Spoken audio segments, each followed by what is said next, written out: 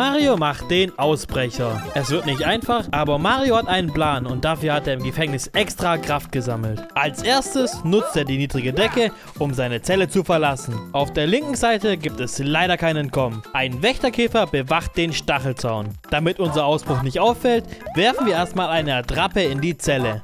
Wir haben uns extra die Mittagszeit ausgesucht, denn da genießen die Wärter köstliche Feuerblumen. Oh nein, der Chefguma kommt wieder mal zu spät zum Essen. Schnell in den Lüftungsschacht.